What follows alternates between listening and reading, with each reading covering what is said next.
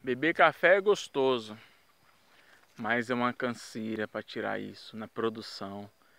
Se fosse para mim plantar, para colher para meu uso, é claro que eu colheria só um pezinho assim bonitinho como esse e torrava, moía e estava pronto o meu café. Mas a produção, ó, filas e mais filas, olha. Aí quando chega essa hora, é dor no joelho, é dor na coluna, é dor nos pés de cabeça, sono e muita quebradeira, muita quebradeira.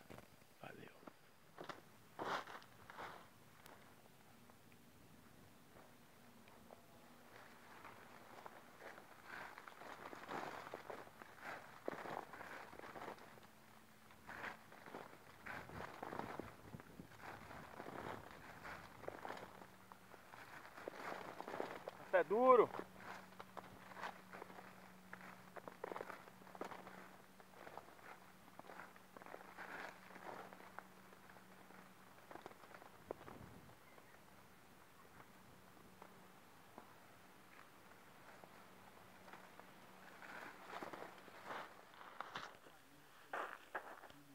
Mês cinco, dois mil e vinte e um.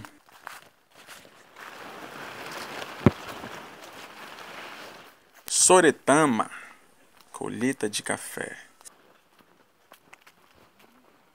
Eu sou o Thales, grato.